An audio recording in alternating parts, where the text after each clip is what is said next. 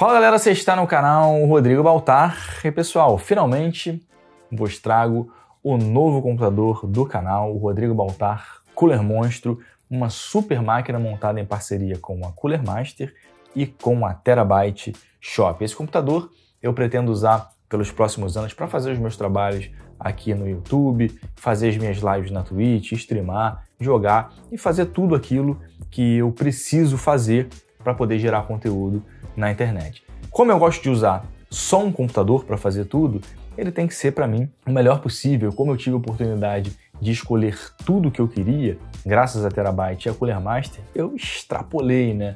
Botei lá um monitor de 34 polegadas mais top que a Cooler Master tinha no mercado Ryzen 5900, 32 GB de memória, 3600, a RTX 2080 que a Nvidia tinha enviado para o canal por conta dessa falta de abastecimento das placas. Eu não consegui colocar uma placa de vídeo é, da nova geração ainda. Gabinete sensacional, com um conceito bem diferente de refrigeração que a gente tem hoje em dia no mercado. Um super water cooler também da Cooler Master. Todos os componentes do computador são da Cooler Master e ficou muito maneiro. Eu vou deixar para vocês aí como foi a montagem desse computador. No final do vídeo a gente vai fazer um apanhado geral, vou falar do preço, vou contar um pouquinho da história de onde veio a ideia de montar um supercomputador todo com as peças de uma marca só. Eu espero que vocês gostem. Se inscreve no canal, se você não é inscrito, dá uma olhada nos nossos patrocinadores dos links da descrição, os links das peças vão estar aí para você comprar na Terabyte Shop. Compartilhe o vídeo, dá um like para ajudar e vamos lá conferir a montagem do Cooler Monstro.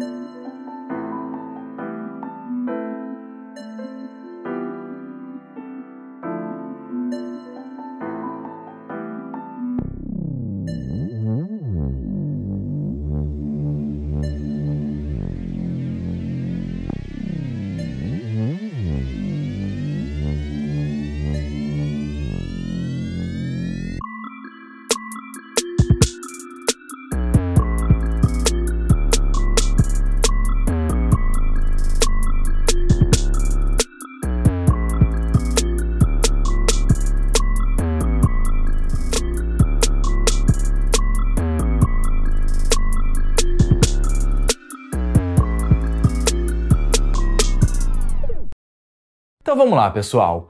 Montado já o computador Cooler Monstro, novo computador do canal, eu queria contar para vocês um pouco da história, da onde veio essa ideia, essa obstinação, esse desejo de ter um computador todo de uma marca só. E graças a Cooler Master eu consegui realizar esse sonho que eu tinha desde pequeno. Quando os computadores começaram a aparecer aqui no Brasil, os computadores PC, eles eram muito caros e eles eram Frankensteins, né? Tinha o gabinete de uma marca, a fonte de outra marca, o teclado de uma marca, o mouse de outra marca, o monitor de outra marca. Então, tudo parecia muito pouco harmônico, principalmente quando você comparava com máquinas da Sun, né? tinha lá o Spark Station, e por exemplo máquinas da IBM também, e também máquinas da Apple. A gente tinha o Macintosh na época. Um primo meu, ele comprou um computador, tinha muito mais condições do que eu, então o pai dele deu um computador para ele, meu tio, que era um computador todo da Creative. A Creative era uma marca muito famosa, o meu kit multimídia, né, o meu CD, placa de som, controlador de jogo, né, ele era da Creative, e a Creative mandava aquelas caixas gigantes, né, com vários CDs e tal, era uma coisa que só quem viveu aquela época ali, 95, 96, 97, lembra. E quando eu vi o computador do meu primo, um computador todo da Creative, né, Creative Blaster, por conta da Sound Blaster, da placa de som, eu fiquei maravilhado com aquilo, né? Porque tudo era muito harmônico nele. Você tinha um tecladinho lá bonitinho, escrito Creative Blaster, logo da Creative escrito Blaster, o mouse também, o monitor escrito Blaster, sem contar o desempenho do computador que era muito acima da média porque a gente tinha no mercado naquele momento. Então, eu sempre tive a ideia de montar um computador assim, todas as peças de uma marca só. A gente tem, é claro, Dell, HP, essas outras marcas Lenovo que existem aí já há muito tempo, só que você nunca tinha a possibilidade de montar uma máquina voltada para jogos dessas marcas, porque eles tinham lá os workstation deles, né, que eram caríssimos, né, feios também, né, cheio de bomba barulheira infernal. Então agora, como essas marcas como a Cooler Master estão trazendo outros tipos de componentes como monitor, gabinete, fonte, water cooler, headset, a gente tem a oportunidade de montar uma super máquina bem harmônica e foi o caso que aconteceu aqui com o Cooler Monstro. O computador todo ele está avaliado em cerca de 26 mil reais. Esse foi o preço que se você fosse comprar todas as peças hoje você conseguiria comprar esse computador aqui. O único preço que talvez destoe um pouquinho é o da RTX 2080, porque por falta de abastecimento no mercado, né, a gente não tem essa placa vendendo, e eu meio que arredondei ali o preço para 6 mil reais. Porém, a gente sabe que hoje uma 3060 Ti, que tem basicamente o desempenho dessa placa de vídeo, ela tá cerca de 9 mil reais, 8 mil reais, então é um pouco complicado. Eu coloquei 6 mil reais porque eu acho que esse, hoje em dia, seria o preço justo, mesmo com todos os problemas que a gente tem aí. O resultado, cara, ficou incrível, ficou incrível. O computador está muito bem montado, os HDs estão em RAID 0, os HDs que eu uso para instalar o jogo.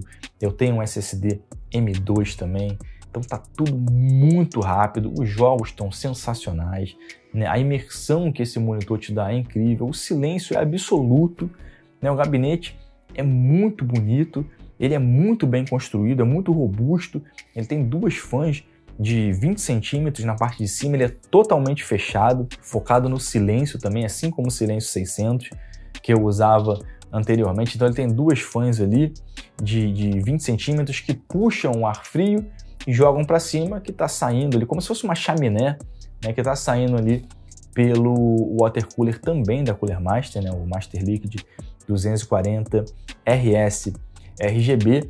Então, como ele é todo fechado, né, nem na parte de trás ele tem cooler, nem na parte da frente, então o ar frio vem por baixo, sobe e a temperatura fica excelente. Eu vou mostrar para vocês nos testes que eu vou fazer nos próximos vídeos, fazer uma comparação entre o Ryzen 5900 é, e o 3900 que eu usava anteriormente. A gente vai comparar aqui em jogos e tal, fazer alguns benchmarks. O gabinete, uma coisa que eu achei muito interessante nele, como ele é de metal, ele está sempre muito gelado, por mais que o ambiente aqui ele esteja sem o ar-condicionado ligado e tal, você encosta na chapa dele, ela está sempre muito gelada, então provavelmente isso influencia, porque as temperaturas que, que eu vi com os fãs rodando no mínimo estão excelentes, né? estão bem melhores do que os outros computadores que eu usei, do que os outros gabinetes que eu usei. O headset eu também achei muito bom, achei melhor do que o anterior que eu estava usando. Eu achei ele muito leve, né? o som é muito bom, o microfone é muito bom também. Ele não aperta a minha cabeça, esse era um problema que eu reclamava bastante. O monitor, né, 144 Hz, é absurdo para você jogar. O mousepad eu achei sensacional, mousepad sensacional, né? Às vezes eu tinha, eu tinha um mousepad já é, desses maiores, né, mas ele não era tão grande quanto esse aqui, é o MP 510, e às vezes eu tinha que botar ele para frente e para trás, porque eu queria apoiar mais para frente, queria apoiar para trás. Agora eu deixo o mousepad parado e, e, posso mover o teclado e o mouse. O teclado e o mouse é o Cooler Master 110, né, o kit. E o único problema que eu achei nesse computador todo, no computador inteiro, o único problema que eu encontrei foi o teclado e o mouse precisavam ser sem fio. Tinha que ser sem fio, porque quebra muito a estética, né? É um teclado semi-mecânico, né? Eu preferi escolher esse porque eu odeio aquela barulheira de teclado mecânico. Então é um teclado relativamente silencioso, bom. O mouse também é muito bom, responde perfeitamente. Eu acho que é um kit bem decente.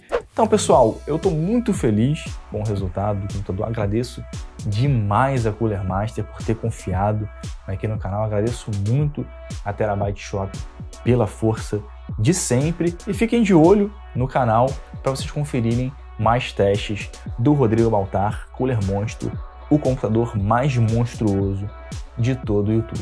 Agradeço a todos que assistiram até aqui, um grande abraço e até a próxima!